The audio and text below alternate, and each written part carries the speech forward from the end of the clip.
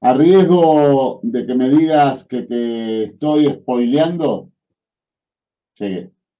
Llegué al Maratón de Sables en el 2002, una carrera muy dura, 236 kilómetros en el desierto marroquí, una carrera eh, de supervivencia donde tenés que llevar, en esa mochila roja, tenía que llevar toda la comida y, todo, y toda la ropa y el abrigo de los eh, siete días eh, de carrera.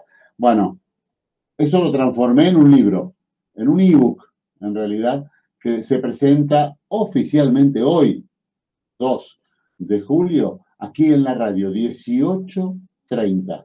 Te espero para engancharte con nosotros y que veas esta historia. Es un relato lomedado, eh, se llama Ike, los sueños no se negocian. No te voy a decir por qué qué, hasta hoy a las 18.30. Y, ahí van a convivir en el relato un periodista, un corredor y un escritor. Vamos a ver qué sale de eso.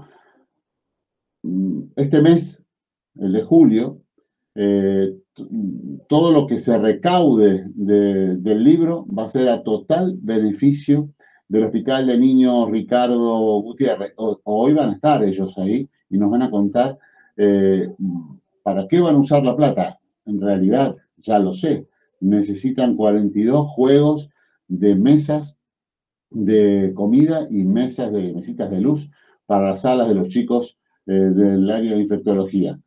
Estamos haciendo el esfuerzo para que toda la recaudación de este primer mes del libro sea a beneficio eh, del hospital, a ver si llegamos a conseguir la mayor cantidad de esos 42 juegos eh, de, mesa de comida y de mesa de luz. Casualmente 42, ¿no? El número del maratón.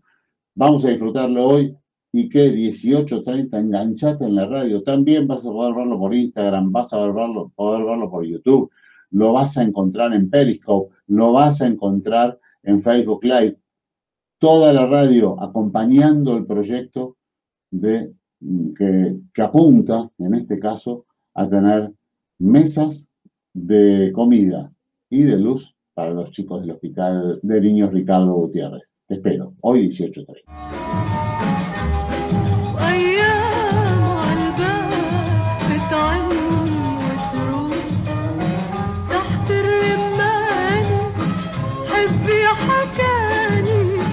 سمعني غناني يا عيوني وتغزل فيه